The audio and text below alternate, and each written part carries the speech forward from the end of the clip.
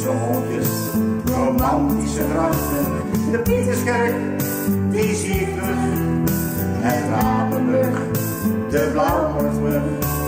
Leiden niet alleen oude singels en poorten, bedrijvigheid in allerlei soorten.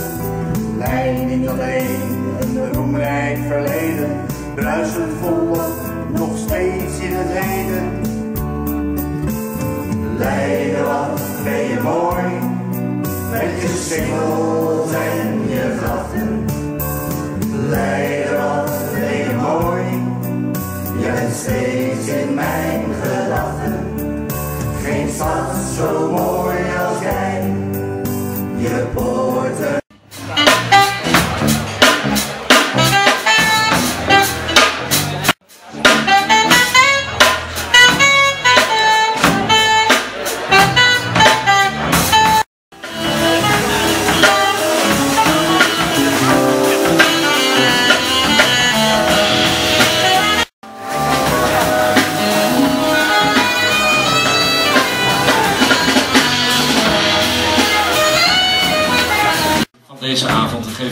applaus, is Mieke Spaans.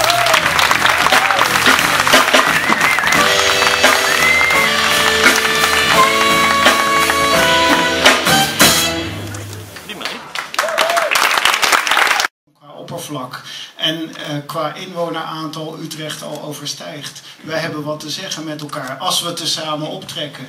En als we tezamen optrekken kunnen we ook wat bereiken. De relaties met Den Haag, Delft, Rotterdam zijn goed. Maar wat dacht u van de life sciences in eh, Utrecht en Amsterdam? Is onze relatie daarmee niet nog veel eh, interessanter? Daar zal Zef eh, verder op ingaan.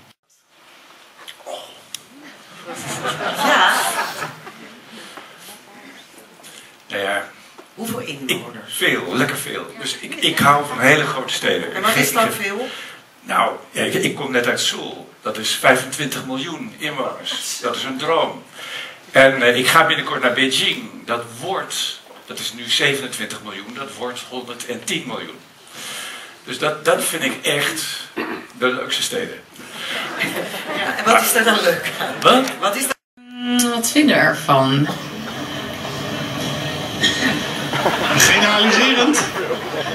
Beetje arrogant. Beetje arrogant. Ze zijn wel leuk, maar een beetje arrogant, vind ik. Eh, praten, praten, praten?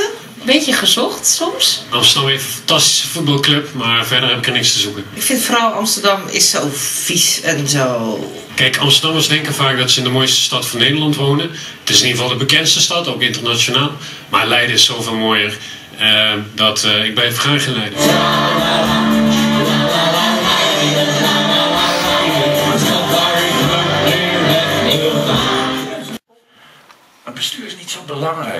Dat is het moeilijkste. Bestuurlijk samenwerken is het allermoeilijkste wat er is. Ja?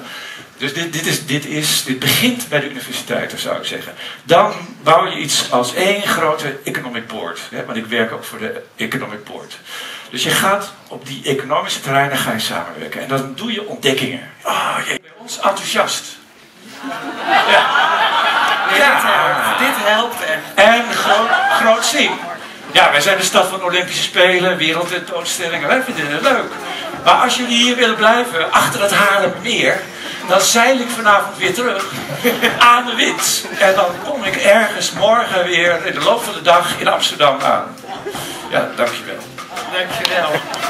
Misschien heb je zo'n...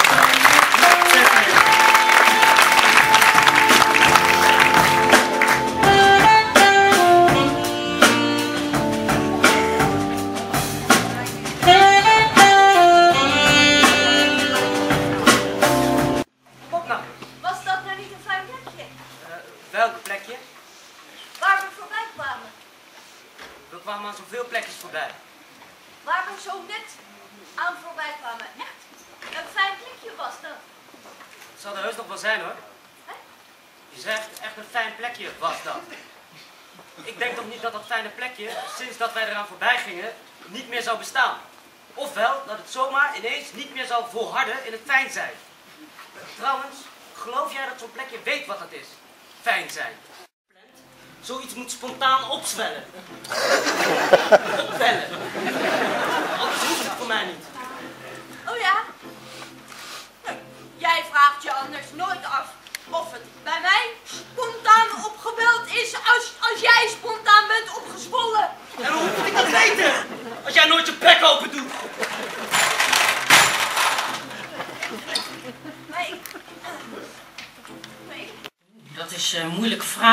Het bestaat uit vele groepen. Als je het hebt over de groep die eh, afgelopen vrijdag eh, in de crisisopvang eh, terechtgekomen is, zijn dat zo'n ongeveer 120 eh, personen. En Voorschoten heeft er ook zo'n aantal aan- opgevangen. En hoe lang zijn die hier dan? Die zijn er maximaal een week.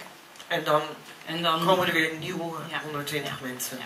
Dit is echt de crisisopvang die geregeld wordt door het COA, waar wij als gemeente, waarop eh, nou bij de gemeentes een beroep wordt gedaan omdat het COA gewoon geen plek meer heeft om mensen eh, ook eh, zeg maar voor de eerste nacht te huisvesten. Serieuze woonruimte vinden voor Ja. deze mensen. Ja. Ehm, Ja. ehm, Michiel, ehm, je bent toen directeur geweest van het COA in de tijd dat, dat je nieuwer oord had, die flat. Ja, onder andere. ja, was het vergelijkbaar met nu? Identiek. Identiek, de AZC's eh, peilden uit. En de toestroom, dit was ten tijde van de Kosovo-crisis, eh, dat hebben we allemaal meegemaakt. Dat was een enorme toestroom, acute toestroom. Ja, dat konden we niet anders dan met, met draconische maatregelen oplossen als COA toen. Dus je ziet nu eigenlijk gewoon dezelfde bewegingen. Ook gemeenten hadden destijds bij eh, enorme achterstanden in het huisvesten van mensen met een status. Ehm, dus in die zin eh, kun je gewoon de alleroude scenario's weer van, van de plank halen. Ja, dat dat is gebeurt nu ook.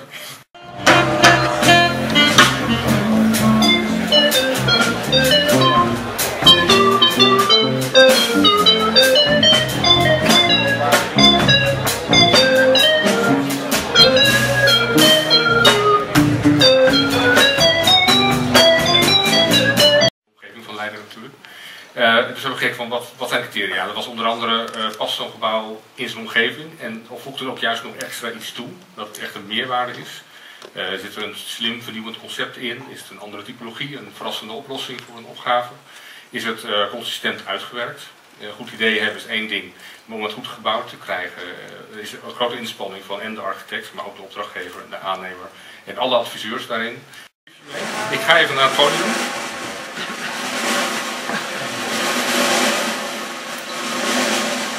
Moet ik hier praten? Nee, maakt niet.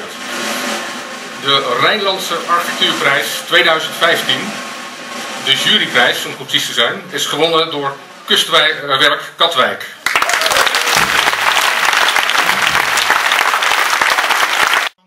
Eh, door de klimaatverandering ontstaat een zeespiegelrijzing. Door die zeespiegelrijzing moeten we de kust versterken. Om de kust te kunnen versterken is natuurlijk een kustversterking nodig. En gelukkig was er ook eh, iemand zo slim om te denken, nou dan kan ik ook een parkeergarage er vast bij maken. Dus u bedankt, want zonder u geen kustversterking en dus ook geen parkeergarage. Dat is nou al, eh, al, eh, al eh, mijn grote Maar wie bent u?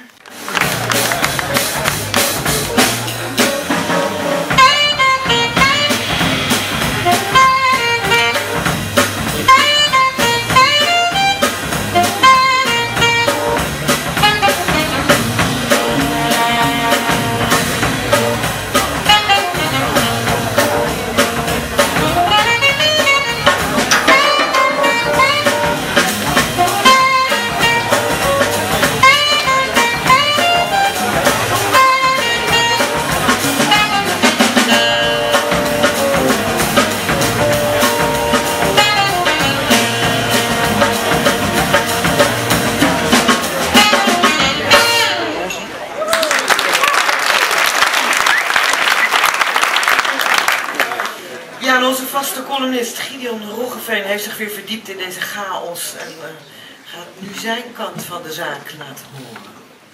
Architectuur een week eh, waar eh, het groots aan gaan pakken en daar zal ook een stand van de stand XL in zijn.